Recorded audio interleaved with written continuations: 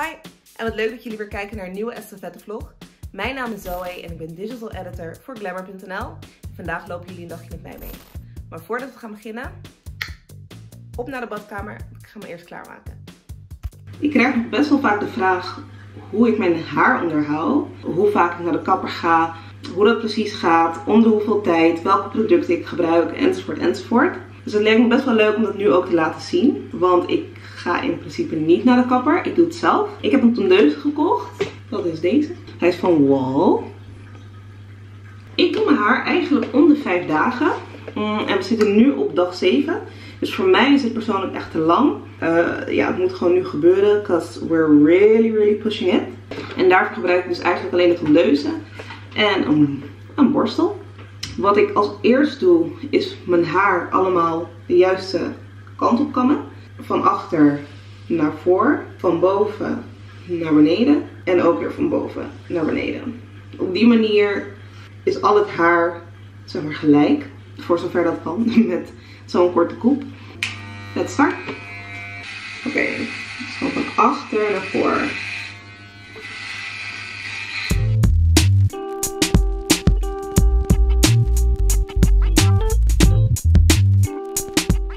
Nou, zoals jullie hebben gezien was het echt super easy. Oké, ik spring nu snel de douche in om al deze haartjes om mijn hoofd af te wassen. En daarvoor gebruik ik deze shampoo van Cantu, de Cleansing Cream Shampoo. En dan in combinatie met deze. Dat doe ik dan meestal niet in de avond, maar wel voor overdag. Een, een beetje een hairpalmate, want anders heb ik zo'n droge hoofdhuid. En ik vind dat geen, ja, that's not a good look. Ik heb mijn gezicht al half geprept ik heb een toner opgedaan, een serum en dan ga ik nu mijn dagcreme aanbrengen. Dat is de Dramatically Different Moisturizing Lotion van Clinique. En deze doet eigenlijk precies wat ik wil dat een crème doet. Ik heb vrij droge wangen en een hele vette T-zone.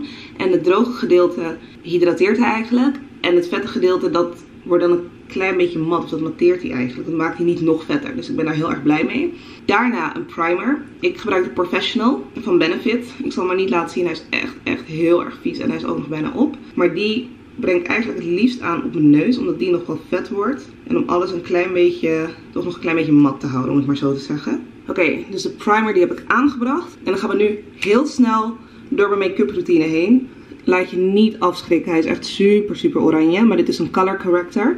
Ik heb vrij donkere kringen onder mijn ogen. Dus ik hou ervan om eerst een oranje color corrector aan te brengen. Deze is van Charlotte Tilbury. Dus die breng je eerst aan en daarboven je concealer. En dan zie je dat je donkere kringen echt een stuk minder, minder worden. Dus let's go.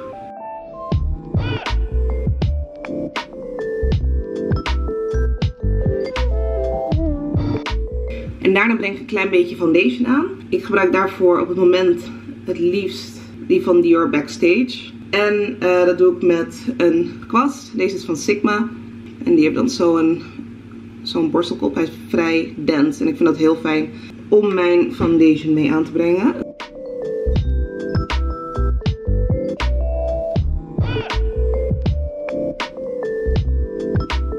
Dan gaan we door naar concealer. Ik heb vier concealers op het moment waar ik echt love it. Dat is deze.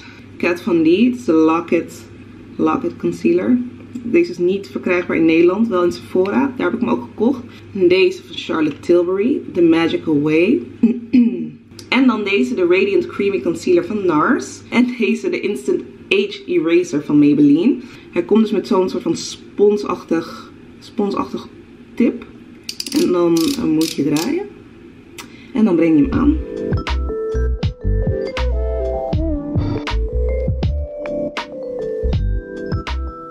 Gebruik weer mijn Beauty Blender. Dan gaan we door met de Skin Perfector. Dus om dit af te poederen.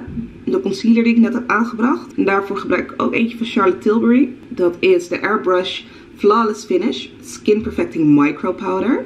Deze finishing powder breng ik aan met een kwast van Real Techniques. Op naar de blush. Deze blush van MAC. Deze heb ik ooit laten vallen. En ik, ik kan het gewoon niet over mijn hart krijgen om deze weg te gooien. Hij is zo mooi. Ik kan ook gewoon een nieuwe kopen. Maar er zit gewoon nog product in. En ik wil hem gewoon niet wegdoen. Dit is Format van MAC. Hele mooie kleur. Zal ik die doen? Of kies ik voor deze. Deze is ook heel mooi. Die lijkt super super roze. Is hij ook. Dus A Little Goes a Long Way. Dit is Rhubarb van MAC. Of kies ik voor deze. Dit is ook echt super oranje kleur. Het is Devil. Dus ga ik voor Format, Rhubarb of Devil. Ja, nou ik denk dat ik voor Devil ga. Deze, de meest oranje. Daarvoor gebruik ik weer deze kwast van Sunshade Minerals.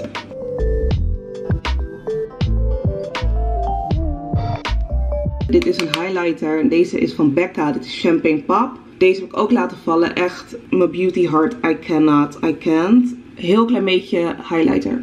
Dus bovenop de, op de blush die ik net heb aangebracht.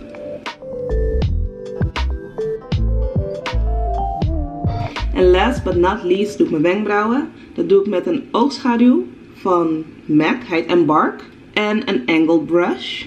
Ik denk dat dat me uiteindelijk nog het meeste tijd kost. Zeg maar je wenkbrauwen te doen.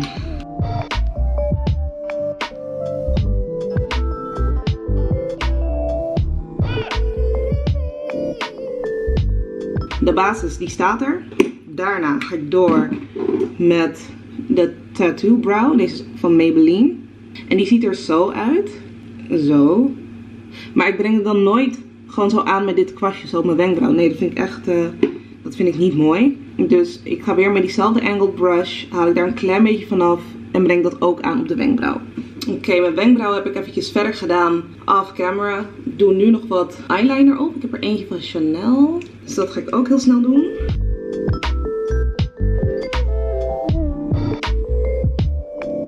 Oké, de winged liner die zit erop, beide kanten. Nu alleen nog wat mascara. Ik gebruik deze mini van NARS. Ik weet echt niet hoe die heet. Climax. Climax mascara. Oké, doe nu alleen nog wat lip liner op. En een klein beetje lipgloss. En dan ben ik ready to go.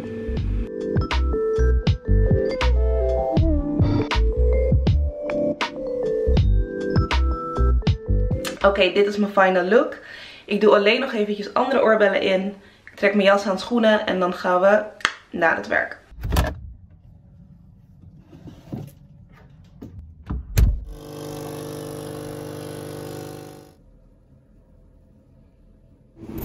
Centraal station, uitstappen rechterzijde, overstappen.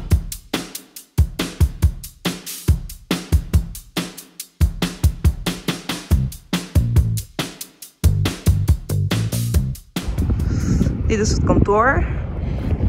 Dit is, uh, dit is Hearst Netherlands.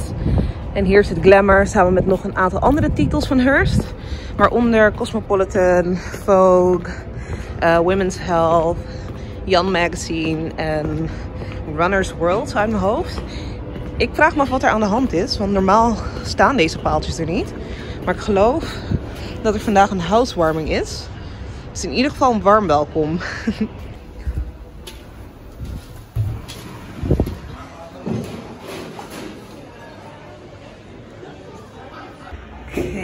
mijn jas. Ik ben hier echt gek op. Het is echt zo'n mooie soort van plum, paars, bordeaux-achtige kleur. Hij is van River Island. Nou, je komt hier dan de lift uitgelopen. Dan loop je zo de redactie op. En dit is mijn spot. Dus zet ik meteen neer.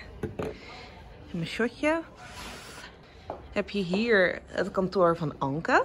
Anke is de hoofdredactrice van Glamour. En de plank. Dat is super leuk om te zien, want daar hangt het nieuwste nummer eigenlijk op. Gewoon in pdf'jes.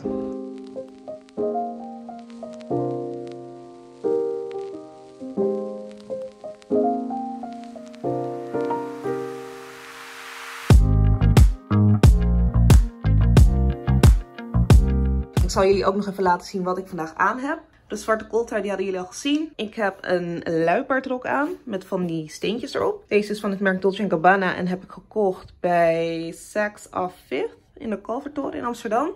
Een zwarte panty, niet heel boeiend. en deze zwarte Chelsea boots van het merk Vagabond. Daar ben ik echt heel blij mee en ze lopen ook echt heel erg lekker. En als laatst mijn nieuwste aanwinsten. Deze Saint Laurent oorbellen. Echt super leuk met zo'n palmboompje. Um, ik heb me laten micro-influencen door mijn collega Jelise, want die had ze eerder. En ik zag ze bij haar en ik dacht, oh, die vind ik echt heel erg leuk. Dus dit is de look. Ik krijg een beetje Fran Fine van de Nanny-achtige vibes hiervan. Wat denk jij?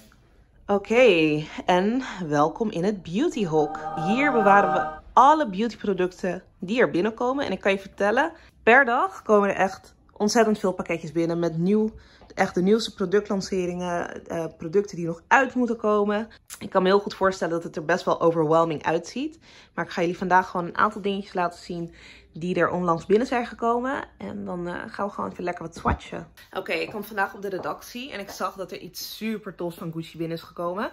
Het is best wel een grote roze doos. Dit is echt niet overdreven, maar is best wel zwaar. Dus ik vraag me ook af wat erin zit. Ik gok lipsticks. Maar we gaan dit samen unboxen, dus let's check it out. Wow.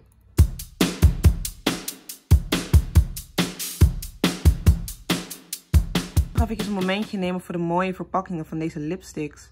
Deze heeft dus een hele mooie crème kleurige bloemenprint. Je hebt er eentje in het turquoise. En deze gouden. Met een, ja, een beetje een relief in de huls. Ja, echt super mooi. Ik weet gewoon niet eens waar ik moet beginnen. Zullen we maar gewoon bij de bloemenprint beginnen? Dit is in ieder geval niet de kleur die ik kan dragen. Oh, dit is wel mooi. Dat is mooi voor de zomer. Een beetje een koraalachtige kleur. Een beetje rood, coral.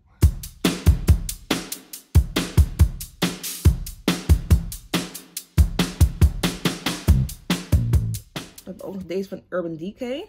De Naked Reload. Ja, dit is echt zo'n perfecte ja, naked palette eigenlijk. Goh, wat verrassend. Met hele mooie neutrale kleuren. Dan hebben we ook nog drie nagellakjes van Sally Hansen. De Insta Dry. Oké, ik ben echt een zakker voor rode nagellak. En vooral deze, dit soort uh, roodtinten vind ik zelf heel erg mooi. Zijn heel chic en ook heel feestelijk. Echt perfect voor de feestdagen die er aankomen.